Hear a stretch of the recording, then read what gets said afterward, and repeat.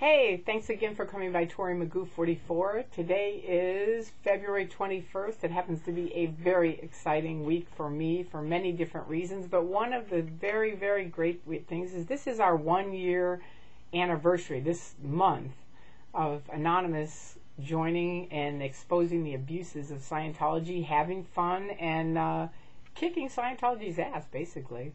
They are not used to people having fun. They're not used to free speech. They say they they're for freedom. They say they're for free speech. I invite anybody around the world to go talk to them and ask them some definite questions. You can go on the net and look and read both sides and find out for yourself. But one of the major reasons I left and many other people I know is because they stop free speech. They stop they they very much, you know, decide who's okay, who isn't once they decide, once you're on your bad list, they declare you a suppressive person like me, which I'm very proud of.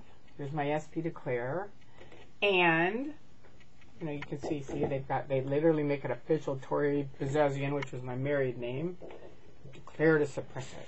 And no one's literally allowed to talk to you when you're declared a suppressive. So there's thousands of people out here, and probably including Anonymous at this point, that no one could really talk to unless they can kind of. You'll notice if you try to talk to Scientologists, they'll never answer your questions. If you ever get to something very delicate, they're on their way. They got to go, right?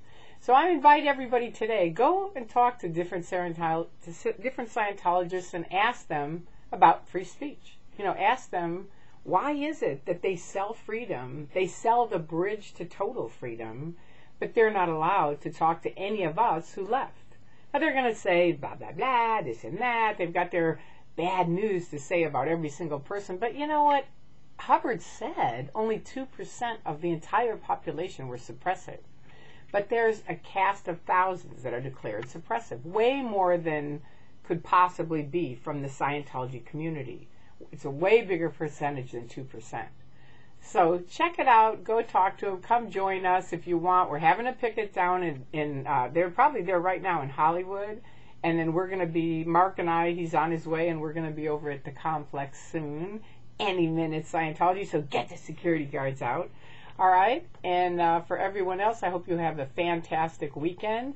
And I will talk to you soon. Bye bye.